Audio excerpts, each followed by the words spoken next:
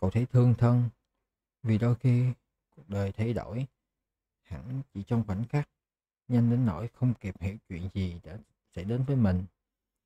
Thật ra cậu rất xấu hổ khi phải khóc. Không bao giờ cậu khóc trước bầy cù cả. Nhưng giờ đây, cậu đứng giữa chợ, không có một bóng người, quê nhà xa tít tắp. Cậu khóc. Khóc vì Chúa thật bất công với mình. Nên mới bắt một người vững tin vào giấc mơ của mình và gánh chịu số phận này. Khi còn chăn cù, mình thật rất hạnh phúc và đem lại niềm vui cho mọi người xung quanh. Người ta mong mình đến và tiếp đón rất ân cần. Bây giờ mình buông nản, bất hạnh. Mình phải làm sao đây? Mình sẽ giận và hoài nghi hết tất cả mọi người chỉ vì có một kẻ lừa gạt mình. Mình sẽ thù ghét tất cả những kẻ tìm được kho tàng vì mình không tìm được kho tàng của mình. Và rồi đây mình sẽ ôm rịch lấy chút của cải có được vì mình quá hèn mọn không để chinh phục thế giới. Cậu mở bị, xem thử còn những gì. Biết đâu còn sót lại chút bánh mì khi ăn trên tàu. Nhưng cậu chỉ tìm thấy một quyển sách, một cái áo khoác và hai viên đá ông già cho. Nhìn hai viên đá, cậu thấy nhẹ cả lòng. Cậu đã đổi xấu của cù lấy hai viên đá quý từ cái áo giáp bằng vàng. Cậu có thể bán lấy tiền mua vé về nước. Từ nay, mình phải khôn hơn. Cậu tự nhủ, rồi định nhặt hai viên đá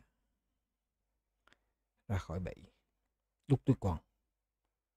Đây, một thành phố cảng, và gã kia nói, đúc một thời điểm cảng lúc nào cũng đầy kẻ cắp. Bây giờ cậu chợt rõ vì sao người chủ quán nổi giận. Ông chỉ muốn nói cho cậu biết rằng đừng nên tin gã kia. Mình như mọi người thôi. Nhìn thế giới này thấy theo ý muốn, chứ không phải như trong thực tế. Cậu ngắm nghía hai viên đá, gượng nhẹ sờ. Tay cảm nhiệt độ và mặt láng của chúng. Chúng là tất cả gia tài của cậu. Chỉ cần sờ chúng là cậu thấy lòng thanh thản. Chúng gợi nhớ đến ông già. Chỉ cần cậu tha thiết, muốn cả vũ trụ sẽ tác động để giúp cậu đạt được. Ông già đã nói thế. Cậu suy nghĩ thật lung để hiểu ý ông già. Cậu đang đứng giữa một bãi chợ vắng tanh, không tiền, không cù. Nhưng hai viên đá rõ ràng là bằng cớ cậu đã gặp một ông vua. Một ông vua mà ông vua này biết về chuyện đời cậu, biết về khẩu súng của bố cậu và về kinh nghiệm lần đầu của cậu nữa.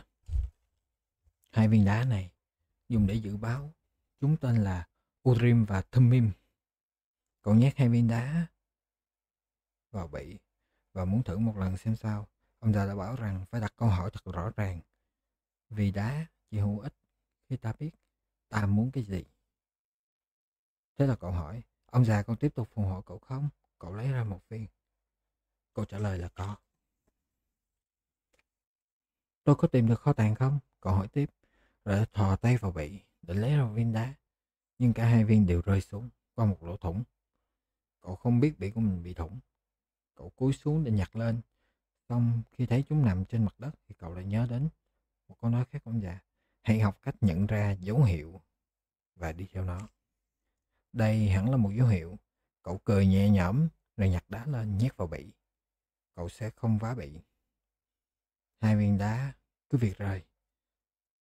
Cậu hiểu rằng có những điều không nên hỏi để khỏi lẫn tránh số phận. Vả lại, mình đã muốn là sẽ tự quyết định mà, cậu nhớ lại. Dẫu sao hai viên đá cũng đã cho cậu biết rằng ông già vẫn phù hộ cậu khiến cậu thêm vững tin.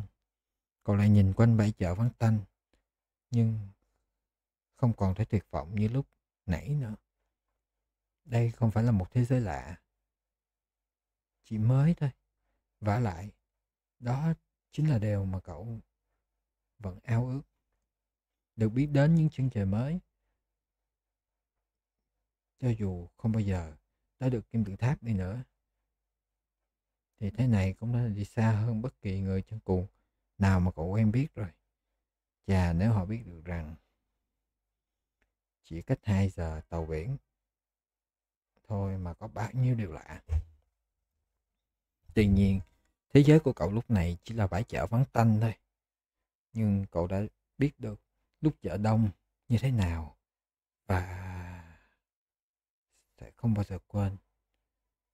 Giờ cậu nhớ đến thanh gươm, đấy là một điều rất đắt giá mà cậu đã phải trả để ngắm nghía nó. Nhưng trước kia, cậu chưa từng thấy được thanh kiếm nào đẹp đến thế cả. Chợt nhận ra rằng mình có thể nhìn thế giới hoặc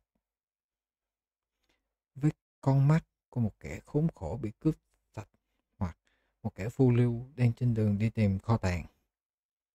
Ta, một kẻ phiêu lưu, đi tìm kho tàng